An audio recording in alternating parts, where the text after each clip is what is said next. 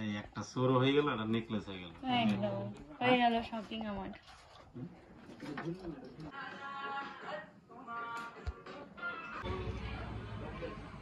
Hello everyone কেমন আছো তোমরা সবাই? আশা করছি সবাই খুব ভালো আছো। দেখো, বিকালের দিকে আমি শাড়িটারি পরে রেডি হয়ে নিয়েছি, অনেক কাজ নিয়ে যাচ্ছি বাজারে। অনেক দিন ধরেই যাব যাব করে এখন না বাজারে যেতে ইচ্ছা করে না কেন রেডি সেডি হয়ে যেতে কেমন যেন আলসেমি লাগে। তো যাই হোক, আজকে যেতেই হবে কেননা কালকে আমি চলে যাব, তো সেই জন্য। তো দেখো, এই যে আমি রেডি হয়ে নিয়েছি, এই শাড়িটা আমি কিন্তু পুজোর পরে কিনেছিলাম মানে কালী পুজোর সময় কিনেছিলাম। শাড়িটা কল্যাণীতে ঠাকুর দেখতে গেছিলাম, তখন আর কি শাড়িটা কিনেছিলাম। তো বেশ ভালো লাগে, শাড়িটা পরার পরও বেশ সুন্দর লাগে, তাই না? তো যাই হোক, চলো এবার ব্যাগে নিয়ে নিয়েছি অনেক কাজ, বলতে অনেক শাড়ি। দুটো তিনটে শাড়ি আছে ওখানে, আর হচ্ছে ব্লাউজ কাটাতে দেবো এইগুলো আর কি, টুকটাক কাজ নিয়ে যাচ্ছি।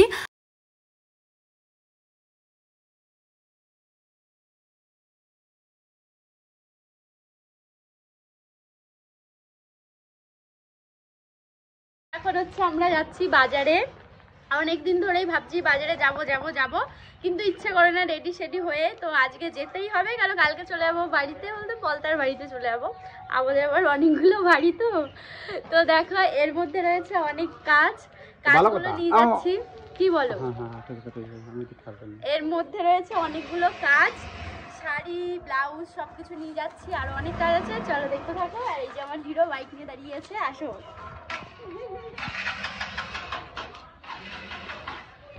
আর গোসাই দাদা হচ্ছে আমার ভিডিও করে দিচ্ছে গোসাই দাদা হাই করে দাও এমনি মুখে বলো ধন্যবাদ তো।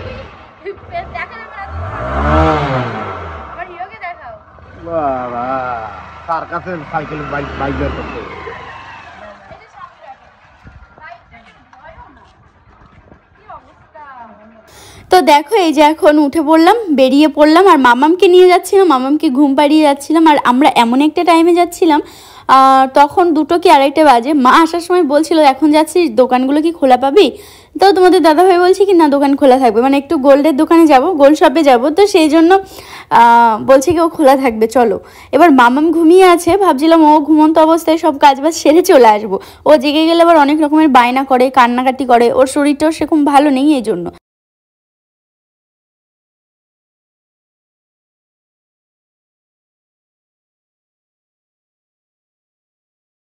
তো এসে দেখছি এই দোকানটা খোলা আছে মানে রাজীবদার দোকানটা খোলা আছে, এখানে হচ্ছে, তো আমি ফ্লিপকার্ট থেকে একটা লেহেঙ্গা নিয়েছিলাম, মেহেন্দি অনুষ্ঠানে পরবো বলে, তো সেটার ওপরে যে টপটা আছে ওটা কাটাতে দেবো। তো আর হচ্ছে তোমাদের দাদাভাই যেহেতু দুপুরবেলার দিকে এসছি, এবার আজকে আমি মানে শনিবার, তো সেই জন্য আর কি কিছুই খাব না। মানে চাউমিন বা এটা ওটা খাব না, তো সেই জন্য তোমাদের দাদাভাই পেস্ট্রি নিয়ে এসেছিল, তো ওইটা খেয়ে নিলাম। আর খিদেও পেয়েছিল এই জন্য।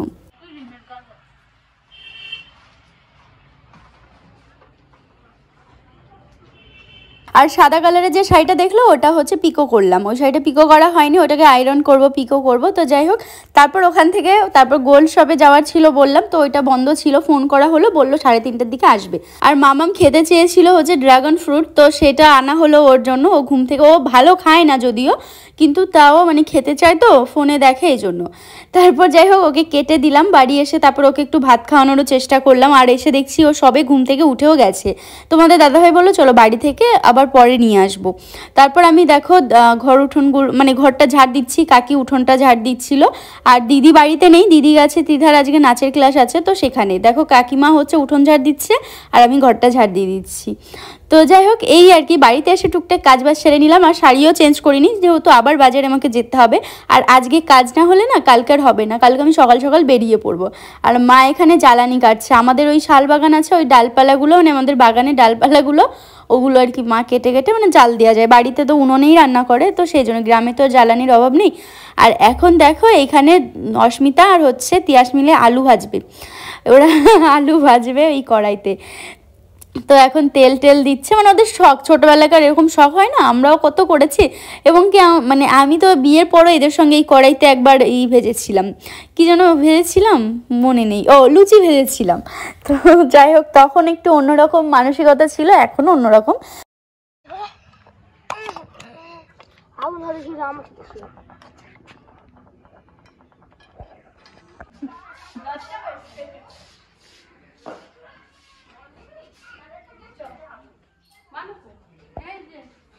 যাচ্ছিস না আসছিস? যাব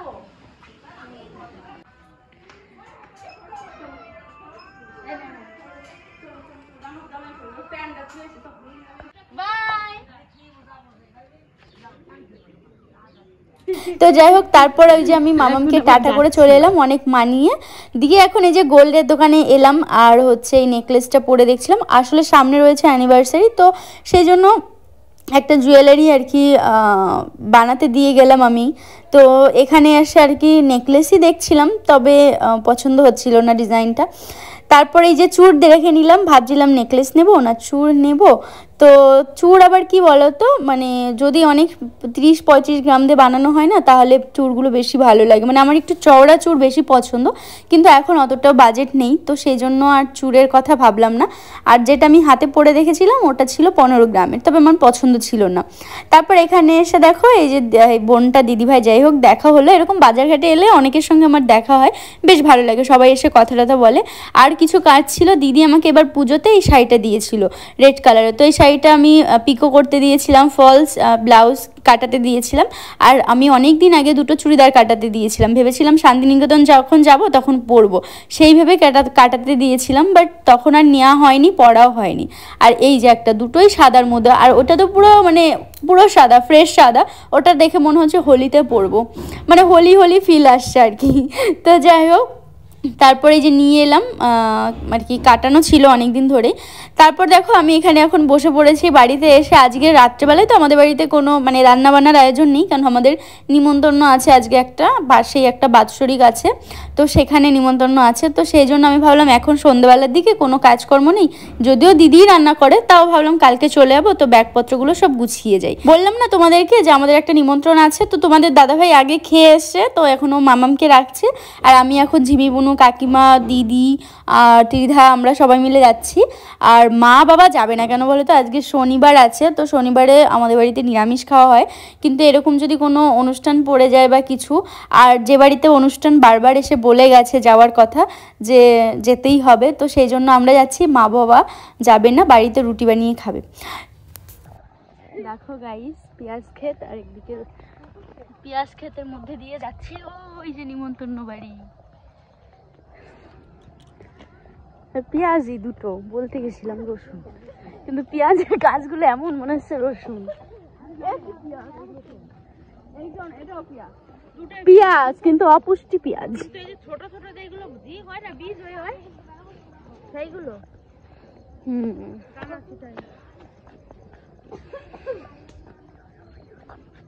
এ আজকাল কুল গাছ দেখা যায় না এই যে দেখো একটা ফুল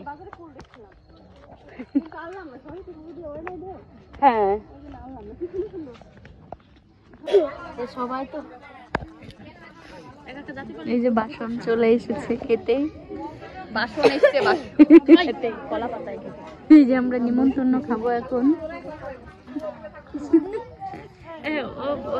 ও মনে আমাকে চেনে হাসা তোকে একটু দেখাই। হ্যাঁ টাকা টাকা। তো সেই তখন থেকে একটু একটু করে দেখতেই যাচ্ছে। এই যে আমার সোনার জ্বর হয়েছিল কইছি না আবার নেমন্তন্ন খাতেছে জ্বর হয়েছে দেখে। মাইন্ডে কমেন্ট করবে না জ্বর হয়েছে নেমন্তন্ন খাতে না গো ঠান্ডা লেগেছে। ঠান্ডা লোক হবে পাশে এ পাশ ওই পার পুকুরের এই পার মাঠের পার মাঝখানে মাছ এই ঝিঝি তোর বুকের ওই চিহ্নটা একটু জল জল করে ভিডিওতে দেখ। মা খালি দেখ কিরম লাগছে তো গাইস এখন কিন্তু অনেক রাত বেজে গেছে আর আমি কিন্তু সব ব্যাগপত্র গুছিয়ে নিয়েছি। তো এই যে জামাটা আজকে নিয়ে এসেছিলাম, তোমাদেরকে তো দেখালাম, তো এটা একটু মানে দেখছিলাম পরে, তবে ফিটিংস একদমই ভালো হয়নি, প্রচণ্ড টাইট হয়ে গেছে। তো যাই হোক, একটু কটা রিলস বানাচ্ছিলাম এটা পরে কষ্ট মষ্টে আর কি, এটাকে আবার খুলে আবার সেলাই করতে হবে। আর হচ্ছে কালকে আমরা চলে যাব। কালকে ভোরবেলায় আর বের হব না, কারণ এখন শীতের সময় তো ভোরবেলা বেরোনো যাবে না। মানে আগে তো ছটার সময় বের হতাম, তো এখন ঠান্ডা কুয়াশার মধ্যে ভেবেছি নটা সাড়ে নটা নাগাদ বের হব। মানে বারোটার ট্রেনটা ধরার চেষ্টা করব। তো যাই হোক ঘরে এসে সব ঘর দোরগুলো গোছালাম। একটু যাওয়ার আগে সব গোছগাছ করে যাই। এলোমেলো থাকে তো, গুছিয়ে গেলে এসে আর অতটা ঝামেলা থাকে না। তো মাম্মাম, তোমাদের দাদা ভাই দুজনাই ঘুমিয়ে পড়েছে, আমিও এখন শুয়ে পড়ব। তো যাই হোক, চলো আজকের ব্লগটা এখানেই আমি শেষ করছি। কালকে দেখা হবে নতুন ভিডিওতে। সবাই ভালো থাকবে, সুস্থ থাকবে। আর হ্যাঁ বাজারে গেছিলাম, সেটা তো তোমাদেরকে বললাম। কারণটা হচ্ছে, আমি একটা জুয়েলারি বানাতে দিয়েছি। মানে একটা একটু জুয়েলারির দোকানে গেছিলাম আর কি গোল্ড শপে গেছিলাম। তো সেই কাজটা মিটিয়ে এলাম। তো যাই হোক, পরে তো জানতে পারবেই যে কি নিলাম, না নিলাম। আর আজকে ব্লগটা আমি এখানেই শেষ করব। আর কেমন লাগছে এটা বলো তো? পুরো হোয়াইট এইগুলো আমি সব নিয়েছিলাম, শান্তিনিকেতন গিয়ে পরবো জন্য। তবে পড়া হয়নি। যেহেতু আজকে নিলাম নেওয়া হয়নি এর আগের বার। আর এই কানেরটা যেন তো কিনেছিলাম মেলা থেকে এই যে এখানে মেলা হলো সেই ওখান থেকে। তো সেটাও তোমরা দেখেছ। তো যাই হোক, চলো আজকের মতো টাটা। কালকে দেখাবে নতুন ভিডিওতে সবাই ভালো থাকবে, সুস্থ থাকবে।